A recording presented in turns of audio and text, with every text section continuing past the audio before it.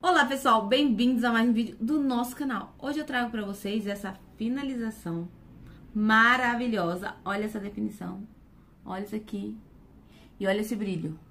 Olha esse brilho aqui. E tudo isso, sabe quanto? Cinco minutos. Não, não, não, não. Três minutos eu dou pra vocês. Em três minutos vocês fazem essa finalização. É muito simples e muito rápida. Quando você quer ir pra escola, ou você tá, tipo, ah, tô atrasada, ah, tem que arrumar o cabelo, vai ser assim, ó, num tapa. Mas se você já gosta desse tipo de vídeo, já deixa aquele like para ajudar a. Se inscreva aqui no canal e ativa o sininho de notificações para sempre receber os meus próximos vídeos, ok? E deixa eu falar uma coisa, essa finalização vocês vão ter mais ou menos uns três dias de day after. Tipo, o seu cabelo vai aguentar uns três dias. Então, pessoal, vocês sabem que eu adoro o volume, né? Mas esse aqui foi o resultado depois de seco com essa finalização que eu vou mostrar pra vocês. Eu não tentei armar nem nada, nem tentei soltar os cachinhos. Ele ficou desse jeitinho aqui, ó. Os cachinhos bem, bem, ó. Tem até uns gordinhos, tá vendo? Ó, esse mesmo. Tá bem gordo, mas tá bem definido, tá? É, confere aí o vídeo, bonitinho, passo a passo, como eu fiz. E vocês vão ter esse resultadinho aqui. Então, pessoal, eu já lavei o meu cabelo com shampoo e condicionador, desembaracei ele no banheiro. E depois que eu faço isso, eu coloco a toalha na cabeça e deixo o cabelinho ali. Aí eu coloco a minha roupa, faço uma maquiagem básica, igual eu fiz aqui. E depois que eu finalizo, coloco um brinco, um relógio, um colar é, e pronto. Mas eu vou mostrar pra vocês como é assim, ó, um tapa, tá? Mas caso você, ah, fiquei muito tempo com a toalha na cabeça é, e você tirar ele tiver um pouco seco, você usa o borrifador que está aqui. Ah, e se você não está participando do meu sorteio lá no Instagram, corre lá porque a gente está tendo um kit maravilhoso que é esse aqui, ó, vem borrifador, um kit de shampoo e condicionador, uma necessaire, um pente e o negocinho do dedo que eu sempre esqueço o nome, mas corre lá, tá? O Instagram é esse aqui, ó, tá bom? É, hoje eu vou estar tá usando esse seda aqui, seda Boom Definição, tá? E bora pro vídeo.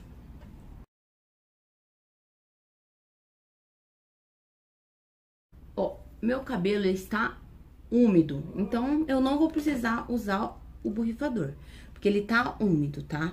Eu sempre reparto o meu cabelo em duas partes, né? Acho que vocês já viram algumas, algumas resenhas de creme de pentear e sempre eu faço isso, né? É, eu reparto ele em duas partes e começo passando... Sempre passo de baixo para cima, tá? E sempre penteando com os dedos, o creme entrar totalmente nos fios, tá?